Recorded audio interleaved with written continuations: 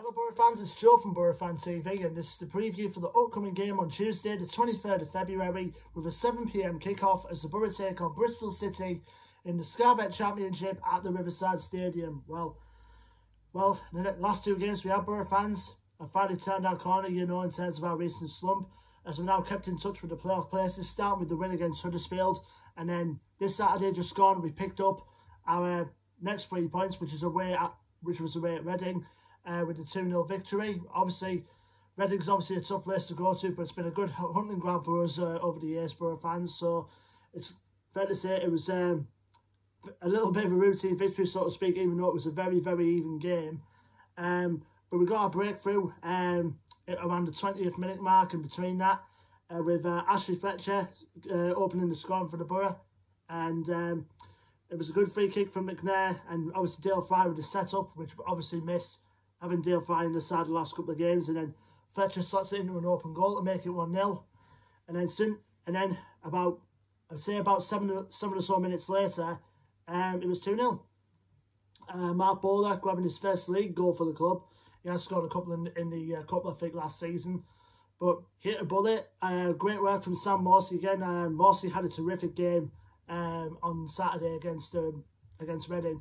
And Matt Bowler, 20 yards with a bullet past Rafael Cabral to make it 2-0. And then, even though Reading had a fair amount of chances, um, obviously Andy Rinomhota had that good chance in the first half before we grabbed our goals. And obviously, um, Ovie Ejaria was a constant threat throughout. But I think um, as long as we kept the other two quiet, I know we mostly kept um, Michael Olise quiet and Lucas João quiet.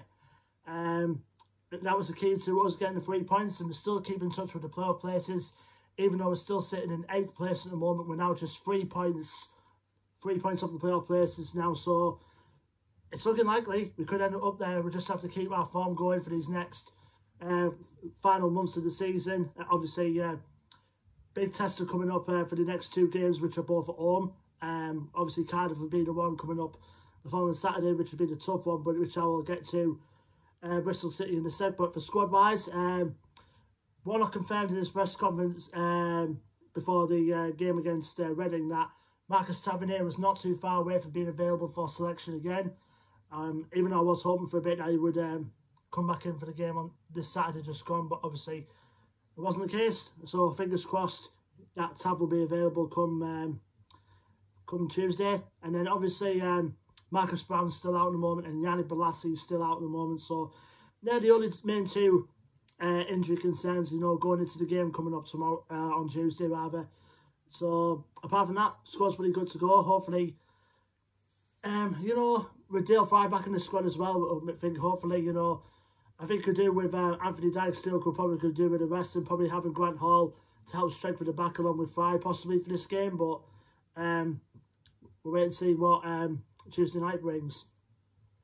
Now we'll go to our opponents coming up um, this coming Tuesday night, uh, Bristol City, um, a club who uh, many thought would expect to be around in around the playoff um, places come uh, around this point this, this point of the season now, but they've been having a torrid spell as of late. But um, going into this game, they're currently sitting in 15th in the championship. Um, their current record going into this game is played 31, won 12, drawn 3 and lost 16. Last game out for them was a 1-0 defeat at home against uh, Barnsley.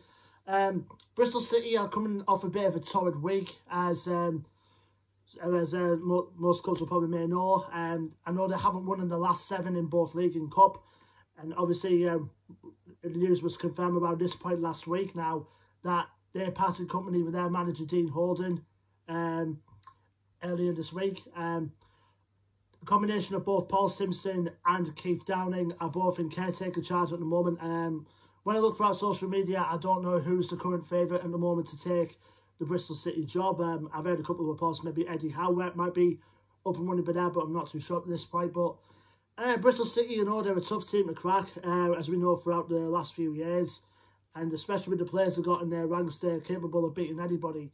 And um, we always find them a tough nut to crack at times. Obviously, key player, I think, to watch for them is a, a player that could very easily could be wearing a Boro shirt by now um, if things came through in the transfer window. And obviously that is for Famara Um, it, obviously, I send the passes a player, player that I would love to have at the Boro. uh, even though he's out of contract at the end of the season. So hopefully, think, fingers crossed, he might be coming in for us on the free. But if we can fend off interest from uh, clubs overseas, but it's a player that you know it's a kind of same build as Assombalonga, but he's a strong. You know, he can grab goals. He has the agility for a big man as well. So he's going to be the main figure to watch out for uh, for the game coming up on Tuesday. Other players to watch out for for them as well.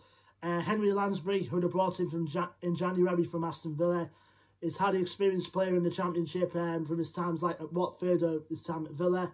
Uh, so he's going to be a creative threat over that from the back, from the midfield positions.